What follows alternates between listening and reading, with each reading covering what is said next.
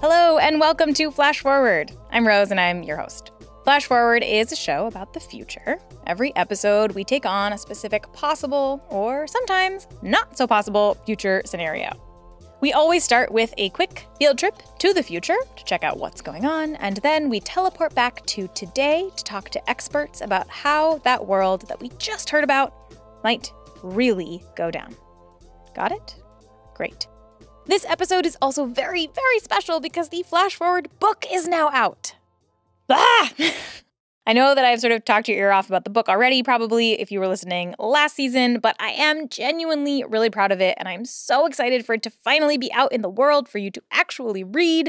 The book is made up of 12 chapters, each visiting a different future.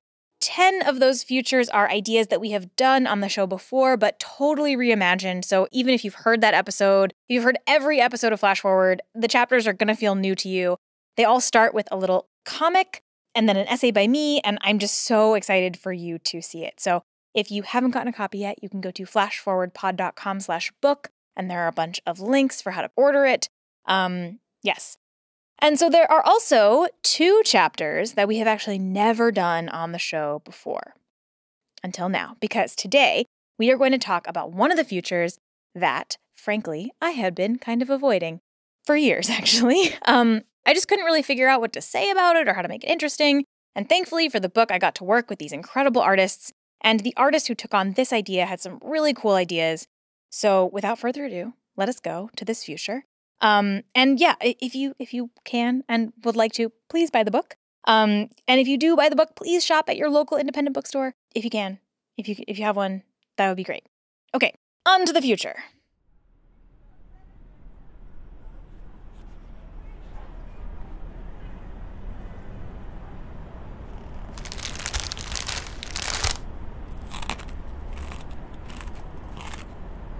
All right, my favorite little informant, what do you have for me today? Come on. Why won't this connect? Password. I don't know. What's my password? I know I wrote it down here somewhere. Aha! Okay. B E N C H N A R C. Oh, that's funny. Am I a robot? No, I am not a robot. But you are, my little buddy. Okay, let's see what we have. Nothing. Awkward date. Sleeping. Send a ticket for that one. Squirrel loitering. Oh? Ah, nope, just loitering. Send a ticket for that one. Okay, here we go. Teenagers, probably about to do something they shouldn't do. Oh, yes. Oh, yes. You're about to vandalize, aren't you? Excellent. Spray paint. How quaint. Okay, run each face and show me who they are and where they went. This'll be fun.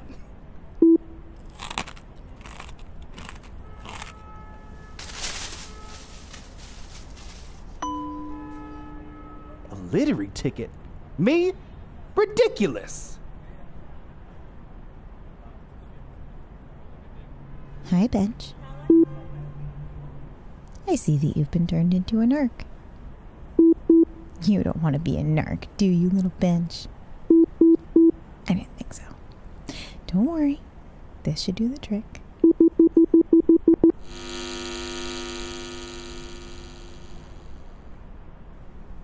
Okay, now for the rest of your buddies.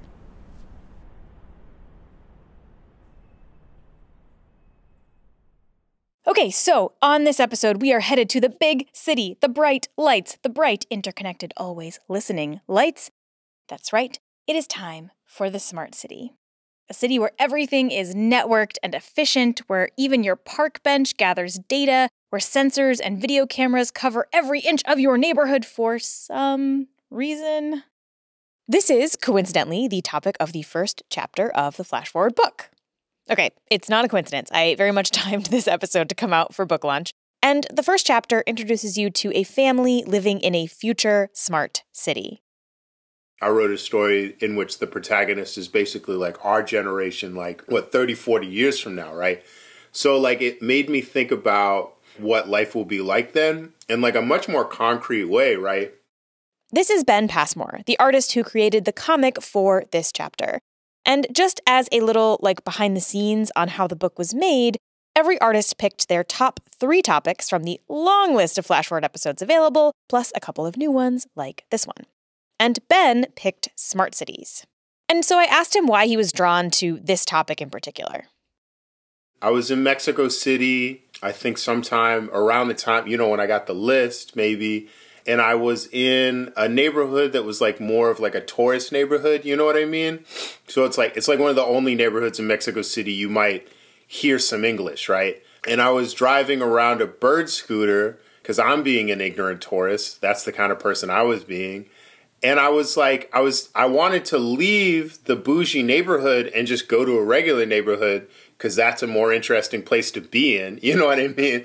Um, and the bird scooter just almost immediately shut down. It was it was only allowed to drive within like the nice area, right? And so this was like new to me. I was like, oh, like it was just an interesting way for me to be like t- like kept out of a neighborhood right and so i was just thinking about that and it's always in my head like the different ways that are like activities are policed in that way you know what i mean so i you know like i said i'm depressing so i just extrapolated to that like what if a whole city is constructed like this I won't spoil what happens in the comic because I do hope that you get the book and you read it. But one of the big themes present in the comic is this idea of surveillance and who gets access to what. It's not that I'm anti smart cities. I think we already live in smart cities. I mean, any anyone who's ever lived in a city with CCTV has lived in a smart city. I mean, that means London has been a smart city since like the 1980s basically. This is Annalee Newitz, a science journalist, science fiction writer, and most recently the author of a book called Four Lost Cities A Secret History of the Urban Age. Smart cities, that's just really a fancy way of talking about designing cities with um, two different things. One is making them more sustainable by having smart grids, right? By allocating power in a way that makes sense um, tracking traffic in ways that make sense. But the other piece of the smart city, right, is creating this kind of surveillance capitalist dystopia. Um, and unfortunately, people who are building smart cities now, the companies that are investing in them, are just smushing those two things together. They're like, oh, well, if you want to have a smart grid, obviously you want to have cameras everywhere too. This is really why I've kind of avoided doing a smart city episode for so long, because Listener, you probably already know that putting a bunch of facial recognition cameras and sensors and surveillance systems around a city is not something that I'm going to be super into. And smart city is such a buzzword, and it's usually a buzzword that goes hand in hand with the darker side of technology. I mean, like, what does it even mean for a city to be smart? Yeah, everything is smart, right? And it has the kind of like normativity built into it because you don't want something to be dumb or stupid. You want it to be smart. This is Dr. Jathan Sadowski, the author of Too Smart How Digital Capitalism is Extracting Data, Controlling Our Lives, and Taking Over the World. He is also the co host of a podcast called This Machine Kills there's so much hype around it. Like this is definitely a hype economy that's built on, you know, and, and it's not only the smart streetlight, right? It's the smart everything in our in our daily lives. Smart cities are constantly the focus of headlines about how connected streetlights will end traffic or smart garbage cans will streamline waste collection. It, it, it definitely relies on this breathless kind of marketing pitch um, to sell you on this is the future, this is great, this is awesome. And some of that could be true. We have to kind of think about the smart city as a set of technologies that can be disassociated from each other. Like, we don't, we can have a smart grid without having surveillance capitalism. But today, in practice, these things are often packaged together. And a lot of the time, the winners in a smart city aren't the everyday people who live there. Because these technologies are not really meant for the the public or meant for consumers. The real benefits are are going to somebody else, right? Uh, whether it's a, a company that's collecting that data, um, whether it's city planners that are somehow using that to manage the city, um, or uh, in, a, in a lot of cases, it's police. It's also worth saying that a lot of the systems hyped by the smart city industrial complex don't actually work very well. In Barcelona, for example, the sensors that they installed in parking spots to detect which ones were open stopped working anytime a train went by. My favorite example of this is like the 5G infrastructure as well, where like you know, 5G is so brittle and fragile as a network infrastructure where there's reports that like a window can block 5G signal. What it means though is that like in order to get around these systems that are really glitchy and really uh, brittle, it does require like massive investment in infrastructure. So you have to have you know, for 5G, for example, you you you have to have these kind of like cell relay stations um, installed everywhere in, in in the hallways of your apartment building to every street corner, right? Like uh, because they don't work in the way that people want them to, or in, in the way that's necessary um, to bring any of the the the kind of connectivity, the the blanket connectivity that's meant to be involved with them.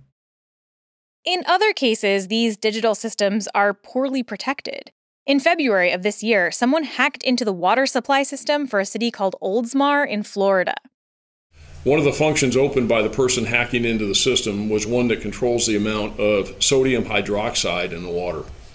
The hacker changed the sodium hydroxide from about 100 parts per million to 11,100 parts per million.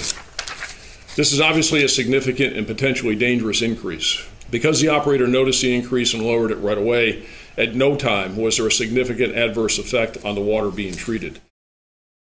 Jathan actually calls the smart city the captured city.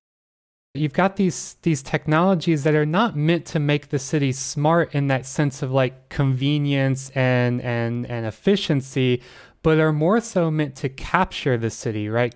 Uh, create a, a, kind of blanket of surveillance, a kind of um, highly effective ways of enforcing law and order in the city.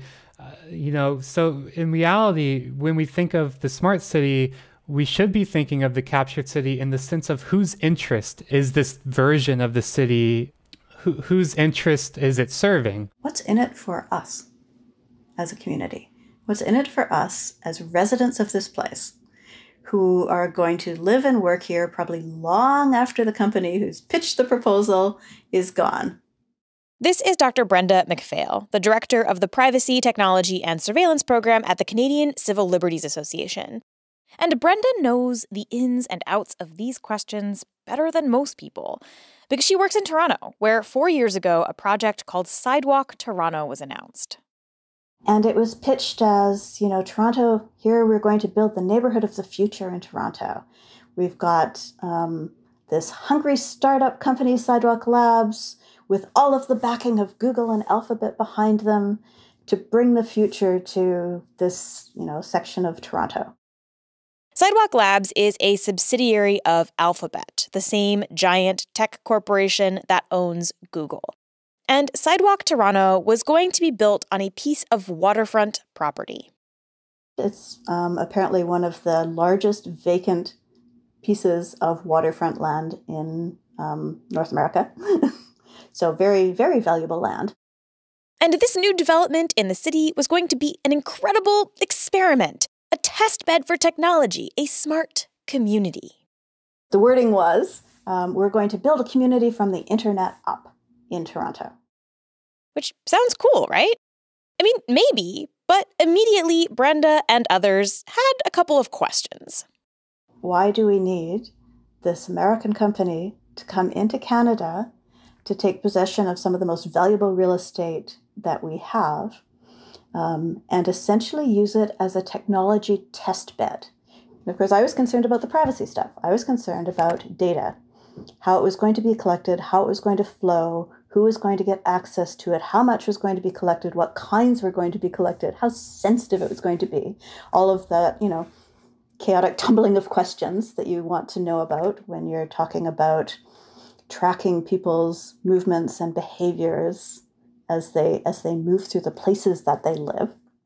There were also questions of whether this community would be affordable, who would even be able to live here. In fact, a really broad coalition of people came together in Toronto to organize against this project. There was a lot of public uprising. There was a really active coalition uh, called Block Sidewalk that was working um, on these issues. There were you know, community organizations, everything from environmental groups to labor groups who were standing up and speaking up. And it worked. In 2020, Sidewalk Labs announced that they were shutting down the project. In the announcement, they claimed that it was because, quote, unprecedented economic uncertainty has set in around the world and in the Toronto real estate market. But nobody I've talked to really believes that it was about uncertainty in the real estate market. Publicly, there are, you know, political leaders who have, you know, sadly bemoaned the fact that that's that was just the truth and it was just what happened. Uh, but privately, I don't think anybody who is deeply engaged in these issues really believes that to be true. Uh, I think what's true is they thought that Canadians were going to be polite and nice and roll over and play dead, and they were surprised from the beginning at the amount of opposition that there was.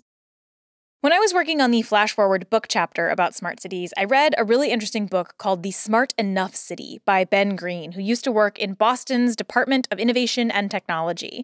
And something he says in the book actually really stuck with me, which is that often these smart city bells and whistles are trying to use technology to solve problems that are really questions of politics and civics. Where should roads go? Who should we design a stretch of road for? Pedestrians or cars? This is something that I talk a lot about on Flash Forward, right? This desire to solve economic, social, political problems with code or gadgets. Not everything can be fixed by an app or by data collection or by AI. And yet, that is sort of what smart cities promise us. They say that if you give mostly private companies all of your data, they will magically make your city better. Take, for example, the app Purple Air. Which is this um, sensor network for smoke. And when we had all our fires on the West, um, you know, everybody was using Purple Air because they had the best, you know, crowdsourced sensor network. During fire season, I personally check Purple Air all the time. And when the fires were really bad a couple years ago, there was this story written up about the guy who created that sensor network that Purple Air uses. The story was that he got the idea for Purple Air because he lived in a part of Utah that was being polluted by a nearby mine. And the story was oh, once he had all the data, they were able to prevent the mine from polluting. But that's actually not what happened. When I called him up, I was like, Is that true? And he's like, No. He's like, Actually, we gathered a bunch of data and it didn't do any good at all. And we basically just went to the city council meeting like every day for a year and screamed at them. And that was what helped. And even then, they still have a ton of pollution. Like it didn't actually help that much. So the smart city is really just a bunch of angry people at city council meetings. Honestly, like the thing about cities is we perfected city technology a long time ago. A city doesn't become better through data. A city is a place for people. There's such complicated entities, you know, like built out of like necessi- like necessity and opportunism, you know, that like in a lot of ways like a cities like cities feel like very unnatural places. But when I think about what like uh, what I enjoy about a city, it doesn't actually really have much to do with the technology. I feel like the things I like about the city is that there's a lot of people there and there's a lot of like everyday ingenuity and culture that potentially makes them like very vibrant places. That's Ben Passmore again. I find that the cities I like the most are like I like Port-au-Prince or I like um, I like Mexico City or like places like that that are like um, I mean Port-au-Prince and Mexico City these are massively different cities but like there's a lot of people like there's only so much oversight that's like possible, right? So there's a lot of people like just kind of doing like doing what they can in the margins. Um, And I find that kind of environment to be really exciting. Like the technology itself is not exciting to me. Like like bird scooters or whatever. But then the kids figured out how to hotwire the bird scooters, and I was like, that's amazing. I'm happy bird scooters are around. And so for this episode, I want to talk about what the future of cities could be. Let's just forget the idea of smartness, whatever that means. What makes a city good? What makes a city fun and vibrant and accessible and successful? Why do people even go to cities in the first place? All that and more when we come back. Today, experts predict that two out of every three people will live in cities by 2050. You probably know someone who lives in a city. You might live in a city yourself. You may be listening to this from within a city. But cities are a relatively new phenomenon for humans. People did not used to live in huge, crowded centers. Compared to the whole of human history, cities are still in their infancy. So maybe before we understand the future of cities, we have to understand why cities became a thing in the first place. Why do people move to cities? It's an incredibly good question. And that's part of what I was wondering when I started the book. And I, I still don't think I have the perfect answer, but uh, certainly one of the things that stood out to me was that cities are places that people go to party. And that's one of the earliest parts of city life. We see it continuously in every city. And when I say partying, um, I mean having a feast, having a bunch of people over, lighting a big fire, eating a bunch of food, uh, maybe breaking some plates, exchanging some jewelry, like just having a fun time. And we absolutely see evidence of this. Like we see garbage piles full of half eaten bones and that's always that's the signature of a party in the neolithic it's if you didn't finish eating a piece of meat you were probably partying because otherwise like why would you waste it and one of the first if not the first ever city goes all the way back to around 7400 bc so the first city in the book which is one of those places that's debated um, whether it's a city or not çatalhöyük in central turkey had maybe about 5,000, 10,000 people living there, so not big, but it was very high density. Uh, everyone's houses were literally stuck together. Uh, they were built kind of like an apartment complex. Today, the concept of cities doesn't really seem all that unique, but in 7000 BC, people did not live in large groups settled in one place. The idea of a city was weird and new and probably kind of scary. Humans up to that point were nomadic, living in small groups and moving around all the time. So it's this really early stab at trying to come up with a way that humans can live in a high density environment. And how do you build something that is a totally human space within nature? Um, and so, like I said, it's kind of it's a it's a beta test. It's a first try. You know, like this is this they said, "Okay, well why don't we just build an entirely artificial environment that's literally elevated off the ground so that when you're walking through the city, you are never walking on something that isn't built by human hands, which I think is super interesting and people lived there for almost 2000 years. So it was it was a beta test, but it was a pretty successful beta test. Um, and you know, in the end it didn't work out, but um, it sure was a going concern for quite a long time. If you have ever lived in a city, you have these ancient experimenters to thank for it. And the reason that I called Annalee, aside from the fact that I really enjoyed their book, Four Lost Cities, is that one of the main things that the book talks about is how cities die, basically. Like, what makes a city fail? How do you go from millions of residents to basically nothing?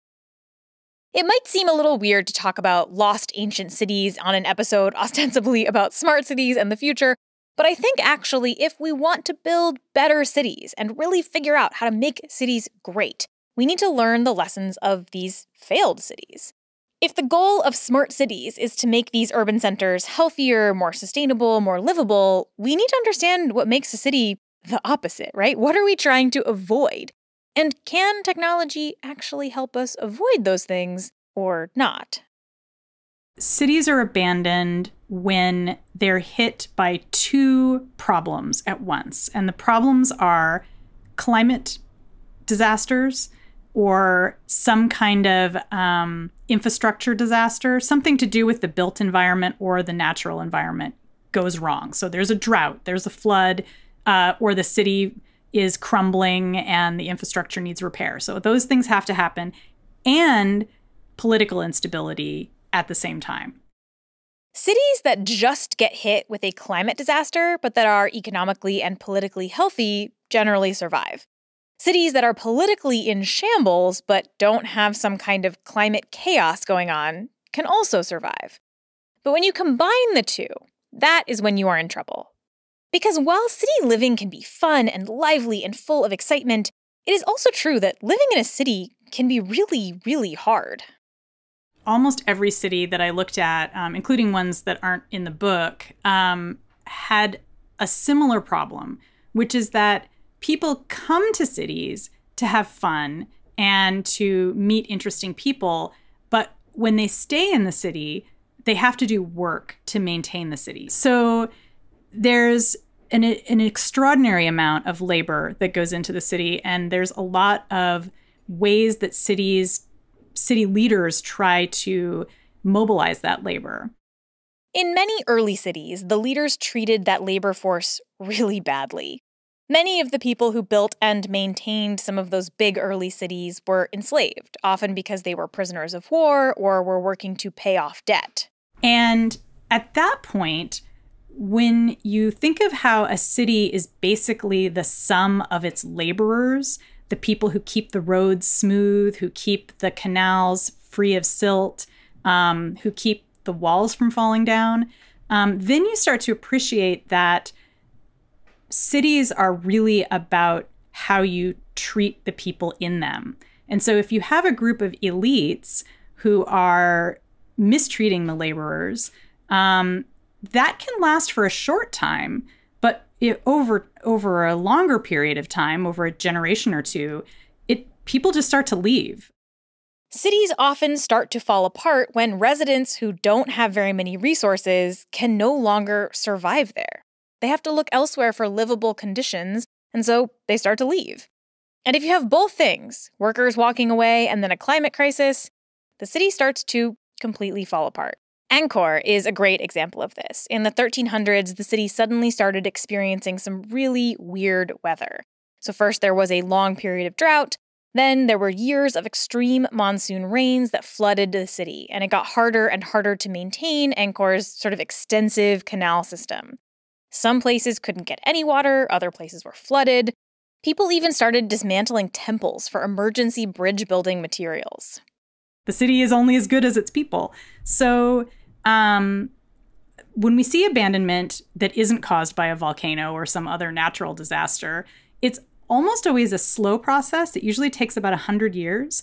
And it's generally because people find that the city is no longer being maintained, either because they're not being paid to do it uh, in whatever form they're being paid, or because the city government or leaders aren't allocating part of their funding or their wealth to maintaining it. Reading Annalee's book actually made me think about cities really differently. Cities are not structures or roads or skyscrapers, they are people. And if you don't treat the people in a city well, they'll leave. And in fact, a lot of really important, huge cities have gone through kind of a boom and bust cycle like this. London, Istanbul, Cairo, they have all grown and shrunk over the years. And maybe that's what will happen in our future, too. It's very likely that we will go through another phase of, of that kind of dispersal where people become disenchanted with cities for all kinds of reasons. Um, because cities are being run by an authoritarian government that mistreats workers, or because cities are unsanitary, or because people don't want to live that way. Um, it's too crowded. It's too, uh, there's a lack of privacy. Um, there's a lack of resources. Right now, lots of cities are facing the dual problems that Annalee laid out. I think a lot of cities right now um, across the globe are facing that twin problem of climate instability and political instability. If we want cities to survive, we have to figure out how to solve these problems. So I think moving forward, a lot of our experiments with urbanism and a lot of the ways that we're going to make good cities is really simple political stuff like acknowledging that essential workers need to be paid like essential workers um, and that that means paying them better giving them health care benefits giving them a, a, better minimum wage giving them housing um, or giving them access to housing that they can afford. Um, and it's also going to mean thinking about actual climate solutions um, that go beyond the borders of the urban space and into the rural areas that are providing food and other resources for urbanites. This isn't the smart cities we get pitched day to day. It's not the stuff that we see in shiny commercials or in marketing packages or, in my case at least, in hyperbolic press releases cluttering my inbox. But I think that this is the more hopeful version of the future of cities. And when we come back, we're going to talk about that hopeful vision of cities. One that includes technology, but also thinks about who a city is for and how to actually innovate and make things better for everyone. But first, another break. Okay, so often when you critique something like smart cities, the response that you get is something like, Why do you hate technology so much? Or, Oh, come on, don't be a Luddite. I get that question all the time. to the point where, like, I am now committed to reclaiming the label of Luddite. I call my, I self identify as a Luddite, um, but I do so in a way that I think the Luddites have gotten a really bad uh, a bad name for themselves um, in part because the his the actual history of Luddism and the the purpose of this movement um, has been obscured over the last 200 years that's dr Jathan Sadowski again for me, uh, I, am not anti technology as such. It is very much about understanding how technology materializes certain values and interests in the world, how it materializes and solidifies certain kinds of power dynamics and social relations in the world. You have probably heard the term Luddite, but what you might not know is that Luddites were not smashing any and all technology willy nilly. They did not hate technology out of some bizarre and irrational fear of progress. They weren't doing it because they were afraid of technology. They were doing it, and particularly as a way to target factory owners who were running um, extremely dangerous conditions, exploiting people for their, you know, th- their labor, extracting um, everything from these people, and using these technologies um, intentionally as a way to to to disempower people. And and the when you look at the history, the the people in this Luddite movement were very aware aware of that, and they were very explicit that like when we're smashing this technology, we're smashing um, a type of social relation that we see as exploitative, as extractive, um, as creating a type of society that leaves us out of it. Uh, and and so that's you know when when someone says are you anti-technology I say no I'm a luddite and then I have to explain to them what I mean by that but I think it's worthwhile. Also side note and this fact Julia found thank you producer Julia Luddites were not just into smashing exploitive labor practices they were also into smashing the gender binary. They actually had an imaginary leader a man named Ned Ludd who was often depicted wearing a dress. People in the movement who mostly identified as men would sometimes wear women's clothing at protests, describing themselves as, quote, the wives of General Ludd. Anyway, uh, Jathan is not anti technology. He is anti capitalism, against a system that exploits workers endlessly to make a small number of people very rich. I get this question all the time too. Why do you hate technology? Why do you keep bashing technology? And I don't hate technology. I love technology. If I hated technology, I would not spend all of my time thinking about it and thinking about how to make sure that it is just and fair and useful. I think we all deserve a better class of technology than the one that we are currently given. And Brenda, who works in Toronto, says the same thing. When they were asking questions about data usage and privacy and what exactly Sidewalk would be doing with that data, they got the same kind of pushback. And, you know, I, I had to say again and again, I love technology. Technology can be awesome. There are times when it works for people. There's times when it works against people. You have to convince us, those of us who love technology in Toronto, that you are working for us and not against us. And you have failed to do that. This is not about us not understanding the technology. Perhaps this is about us understanding it more than you expected us to. And that is why I find the Toronto story actually like a really utopian story. It's a story that rejects this idea that powerful corporations can do whatever they want, that they're the only ones who get to write the future.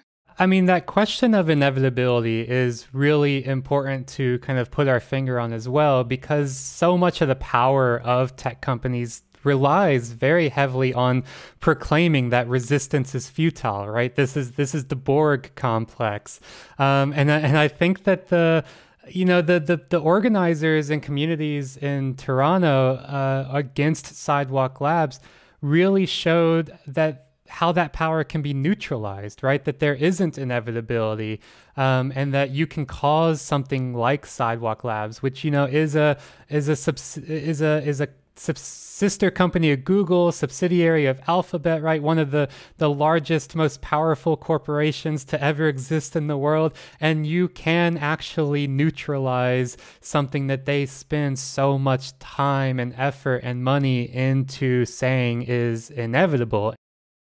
And taking that inspiration further, let's talk about what our cities could look like, what a better version of our cities could look like.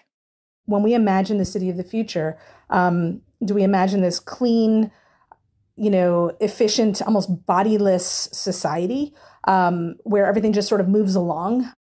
This is Dr. Jaramesh, a professor at Rensselaer Polytechnic Institute fixing broken sidewalks, getting streetlights turned on, getting rid of you know you know broken windows policing. Um, those kinds of things are all part of making a, a, better future, a better city. And it doesn't matter what you do with the technology. It doesn't matter if um, you have autonomous vehicles, you know, driving around the city. None of that matters if you as a person can't get from your house to wherever you need to go safely. Um, if you don't have housing, um, if you don't have food, if you don't have water, and not just food and water, but safe, clean, affordable food and water. What happens if we take affordable out of the equation altogether? What if we say that housing, food, water, and clean air are all a human right? If we start there, what happens to the city? Jara says that the key to good cities is thinking not just about those kinds of questions, but also about who is answering them it shouldn't be i'm an engineer i'm going to go i'm going to go design for this particular community. Um, you know just take a look at uh, at some of the majorly failed um, engineering projects around the world. Um, i remember being um, many years ago I was in tanzania and um, i ended up buying some bracelets from um, a woman who had made the bracelets out of pvc piping that had been imported from a Western com- country, not sure where, and installed um, to help pump water into her village. But the problem was was that PVC piping was not available locally.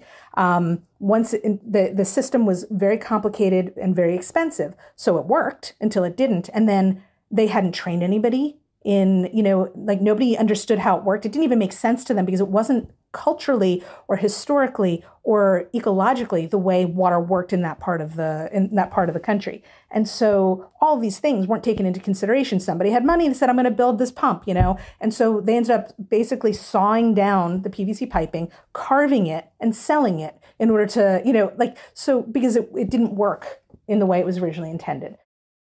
If you want an accessible city, which I think we should all agree we want as a better version of the city, you need to have disabled folks designing it. If you want a just and equitable city, you need to invite those in who are not powerful and rich. I have sort of my own manifesto um, of, of que- called Queer Justice Design, which is um, a whole way of working um, designers who are not um, from communities they're trying to work with, but how to do something equitably and to make sure that um, that people are people's voices are not only heard, but that they're actually creating the design, you know, and, and are part of the design process and the design questions to begin with, right? Um, but I think also that you know, to a large extent, we don't think about like the memory and history of you know and the archive of the city itself also as we move forward. And what happens when we you know when we do all this um, you know, techno these all this technological innovation, like how do we retain the collective memory um, across you know all of these varying identities um, and intersectional identities right? Thinking about like how zoning wiped out you know the um, the you know the the queer community and uh, in new york city for example right? And that and so thinking about like what happens to those collective memories the individual memories like how does the remaking of the city like what does it do to our sort of unofficial knowledges and the ways that we move around the city Jathan says that maybe the utopian future of cities is actually about dismantling, not building.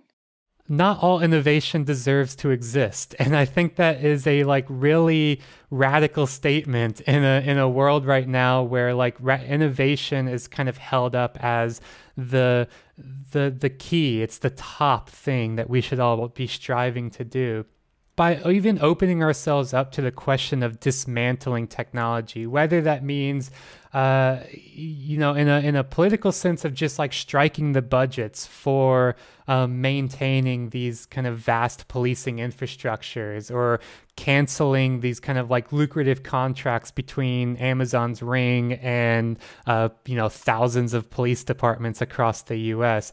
That's a form of dismantling, right? Like the, the this kind of like defunding. Um, but it, I think it also means things like quite literally like ripping out and destroying some of these technologies. Again, it gets that back to that example that just just because something exists doesn't mean it deserves to exist or that it should continue on uh, in this kind of like ossified form in perpetuity.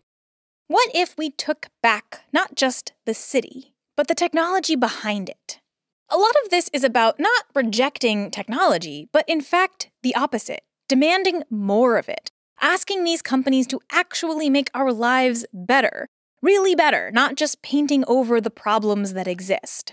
It means demanding more and it means expecting that they actually live up to their promises. And if they don't then then okay like get out of the room right? Like someone else can do that better than you clearly because you're not succeeding. And rather than uh, you know, settling into this this kind of space of being these individual consumers, um, we have to be we have to act collectively as a community, um, as a community that is more invested than they are in the kind of society that we build and the kind of futures that we actually materialize.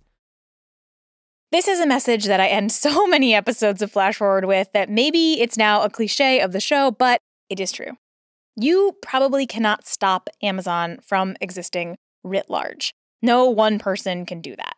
But you can connect with your people and think about what actually serves your community and ask for that. Don't just accept whatever tech billionaires and politicians offer. Ask for what you actually need, what would actually make your city better. Because cities are what we make of them. They're made up of people, like you and like me, Cities die if we let the rich exploit the workers.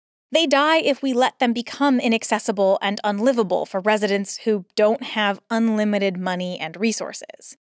We have to stand together to keep our cities whole and worth living in. And maybe that means wearing dresses and breaking some machinery.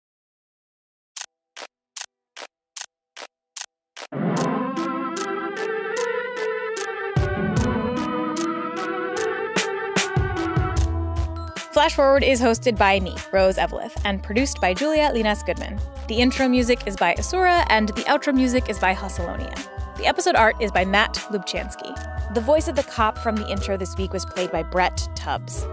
If you want to suggest a future idea for a future episode, send us a note on Twitter, Facebook, or by email at info at flashforwardpod.com. If you think you have spotted one of the little references that I have hidden in this episode, you can email us there too, info at flashforwardpod.com. If you are right, I will send you something cool. If you want to have a conversation about this episode, talk about smart cities, or just talk about another episode or the future in general, you can join the Flash Forward Facebook group. Just search Flash Forward Podcast on Facebook and ask to join. There is a singular question you have to answer. I promise it is very easy. You can say basically anything. I just want to make sure that you are, in fact, a listener of the show. Um, if you want to support Flash Forward, there are a couple of ways that you can do that. You can go to flashforwardpod.com slash support. The show is mostly funded by listener support. Um, and so if you do want to keep the show going and kind of help us grow and do new things, um, that's a great way to do that. Um, if you don't have finances to be donating to the show, there are still other ways that you can help. You can head to Apple Podcasts and leave a nice review. Um, or just like spread the word about the show, tag us on social media, tell your friends, like all that good stuff does genuinely help. Okay, that's all for this future. Come back next time and we'll travel to a new one.